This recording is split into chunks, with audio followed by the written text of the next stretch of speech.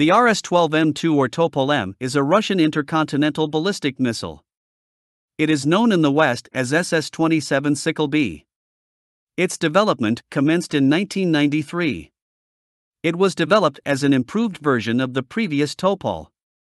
The Topol M was developed both as a road mobile and silo based system that would use the same missile. It entered service with Russian strategic missile forces in 1998.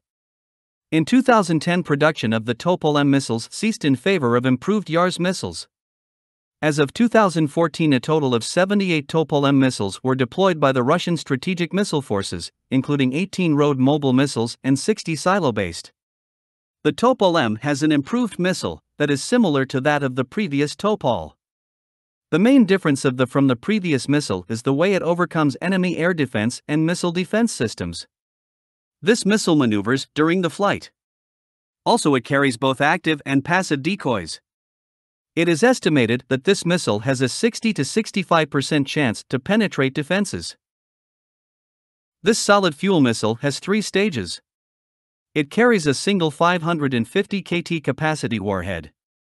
It weighs 1.2 t and carries decoys.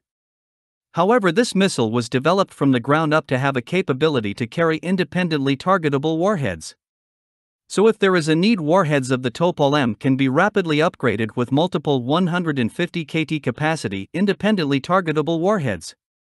Maximum range of fire is 10,500 to 11,000 kilometers.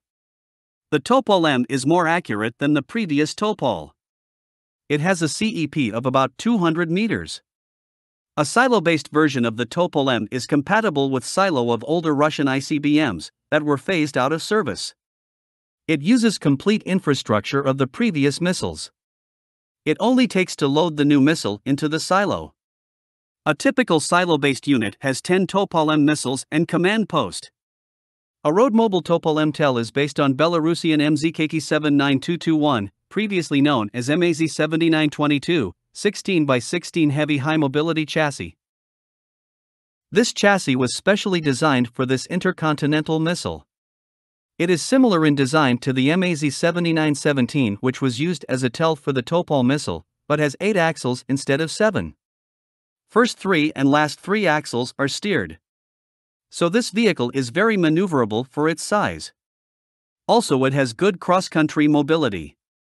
The TEL vehicle is operated by a crew of three. The Topol M mobile launcher has autonomy on roads of 500 kilometers. It allows the vehicle to operate undetected in an area equivalent to a small European country. Road mobile intercontinental ballistic missiles are harder to detect and hit. It has a high probability of survival the first strike, once the country has been attacked.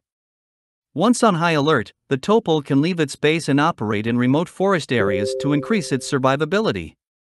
The Topol M can launch its missile from prepared site, special garage with a sliding roof, or from unprepared position during field deployment.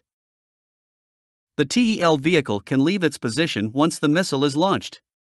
During field deployment, the Topol MTEL is escorted by a number support vehicles, including support vehicle, control vehicle, signals vehicle, fuel tanker, and a host of other military vehicles with troops to ensure security of the missile.